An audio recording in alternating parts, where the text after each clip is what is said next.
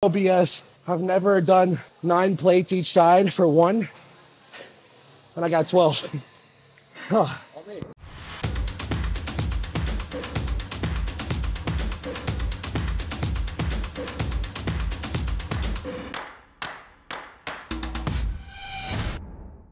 What's up guys and welcome. You're watching Fazi Fitness. Let's start this video with Big Ramy, the former two times Mr. Olympia champion. So a video of him is floating around on Instagram where he is pushing some really heavy weights during the leg press. Now I have to tell you guys this isn't a recent update. It's not a video taken a few days ago, but it was taken a month ago. So Ramy's strength has always been very very impressive. He has always been a very strong bodybuilder. But this is comparative bodybuilding we are talking about. So what's his fate as a comparative bodybuilder in the future? Is he gonna come back and compete at the Olympia in October? Is he gonna come back and attempt to take his title back? Is that even possible? Well, at this point nobody knows. The last time Big Ramy was on the stage was at the Arnold Classic 2023, where he placed behind Samson Dauda, Nick Walker and Andrew Jacked as well. And although he felt that that was one of the best looks of his entire bodybuilding career, the judges were pretty clear that they did not find that physique worthy of top 3. And you can argue that neither Nick Walker nor Andrew Jacked were at their best at that show. Nick Walker had that discrepancy between his upper and lower half. And Andrew Jacked wasn't in a rock solid kind of conditioning. But even then, Big Ramy wasn't able to beat these guys. Although majority of the bodybuilding community agrees on this, that Big Ramy was so much more improved compared to the Olympia 2023. But according to the head judge Steve Weinberger, they did not find any significant improvements from the Olympia to the Arnold. But all that being said, Big Ramy still wants to compete because he loves the process. He's a bodybuilder after all and he loves competing. And that was his stance up until 2023. So as a bodybuilder, Big Ramy has already cemented his legacy as a Mr. Olympia champion not once, but twice in his career. And we have seen some of the biggest names in the history of bodybuilding. Guys like Flex Wheeler, Kevin Levrone, Shawn Ray, and so many others who weren't able to win the Sandow even once. So in hmm. that regards and in that aspect, Big Ramy has got nothing left to prove. But looking at his package at the Arnold 2023 and the way he was able to improve in just a matter of few short months, the fans will be thrilled to see Big Ramy compete in October. And of course, that will do nothing but raise the stocks of the Olympia because he is one of the biggest names in the bodybuilding industry still. And he brings a lot of crowd and a lot of viewership, especially from Egypt. So as a former Mr. Olympia champion, he's qualified for life. If he wants to, he can do the Olympia. come on, number one. Best in the world. Best in the world. Back to back, baby.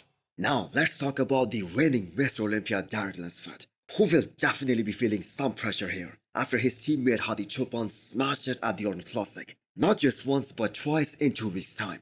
And almost every bodybuilding commentator out there, including his coach Hani Rambod, agreed that this physique of Hadi Choopan would have won the Olympia last year hands down. And the fact that most of the bodybuilding experts had Hadi Choopan winning last year as well. This must be worrying some for Derek Lunsford. And it isn't just Hadi Choopan that Derek needs to worry about now.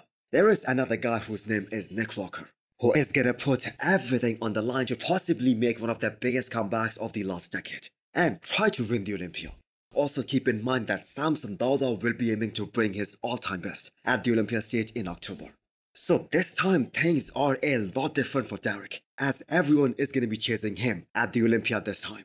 Everyone is going to be gunning for Derek.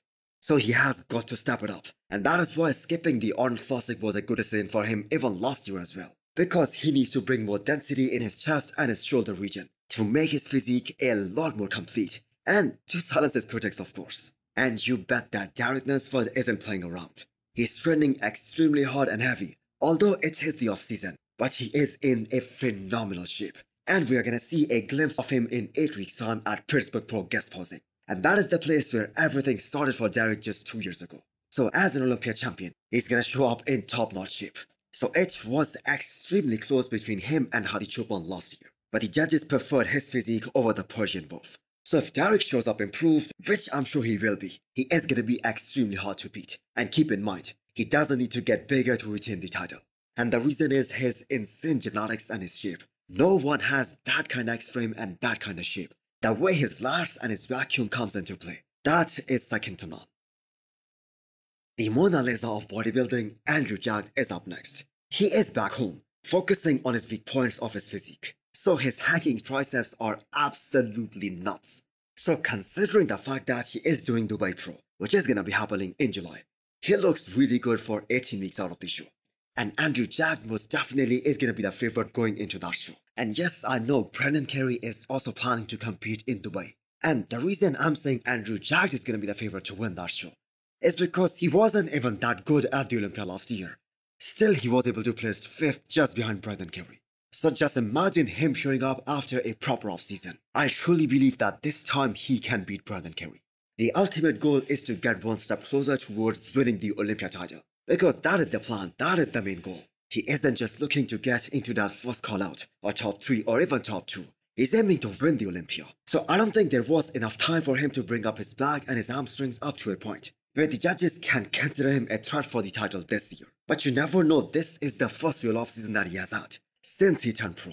And Andrew has made some incredible improvements in his physique from the time he turned pro to his last competition, that was the Olympia 2023, without getting any real offseason, while staying in the prep mode. So maybe this offseason will help him a lot. Maybe this can be the game changer. But I do believe that he needs an entire year to grow.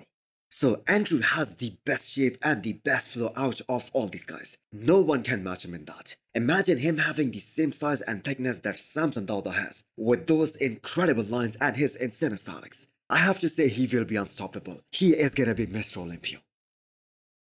The level of competition at the Olympia level has just gone way up, especially in the last couple of years. So Hunter Labrada's comparison video taken 10 weeks before his first Mr. Olympia in 2020 versus this recent one where he is roughly 3 or 4 months out of his next show. Because he's possibly gonna do Texas Pro or maybe even Tampa Pro. So this highlights what a complete bodybuilder he has become over the years. The level of density and the muscle maturity that he has now. Not to mention that insane muscularity that he has developed. The increase in the overall muscle mass, that is truly unbeatable. But all that being said, despite making all these insane improvements, Hunter Labrada is still only top 6 in the world. He was still top 6 last year.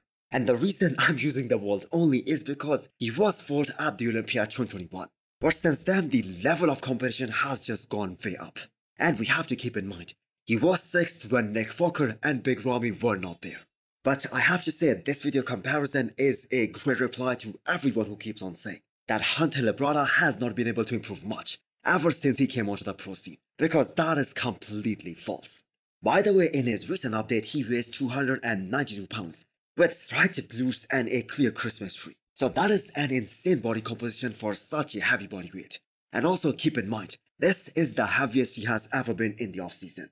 This is the biggest and leanest he has ever looked. And it is gonna be really interesting how he shows up the next time at the Olympia stage. Because of course he's gonna qualify for the Olympia anyway. So do let me know what you guys think. Can he move up from 6th place? Or can you hold on to that sixth spot? Also hit the thumbs up button if you like the video. And smash the subscribe button if you wanna come back for more. Thanks for watching.